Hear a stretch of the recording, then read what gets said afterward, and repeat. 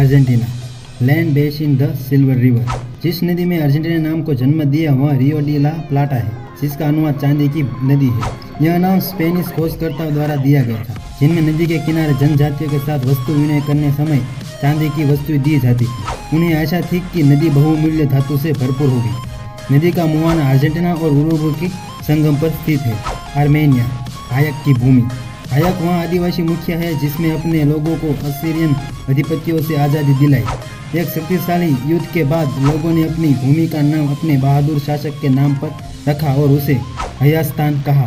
Hayek के परपोते आराम ने कारण ही इस भूमि का वर्तमान नाम पड़ा, ऑस्ट्रेलिया, दक्षिणी भूमि। ऑस्ट्रेलिया का नाम लेटिन से आया है, ऑस्ट्रेलिस, जिसका अर्थ है दक्षिणी। जब अंग्रेज़ी खोजकर्ता मैथ्यू फ्लेंडर्स ने महाद्वीप की खोज की तो उन्होंने उसका नाम टेरा ऑस्ट्रेलिया रखा, जिसका अर्थ होता है दक्षिणी भूमि।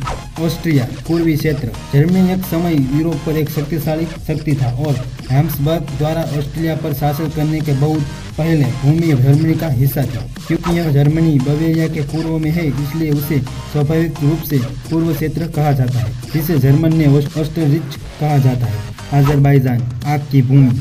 अजरबैजान ने नामकरण के लिए एक अनोखी प्राकृतिक घटना, ज़मीन के नीचे से निकलने वाली गैस जिसके कारण इसकी पहाड़ियों पर आग जलती है। मार्को पोलो ने अपनी यात्रा के दौरान आग को पार किया और जलती हुई भूमि की कहानियों से गुजरे।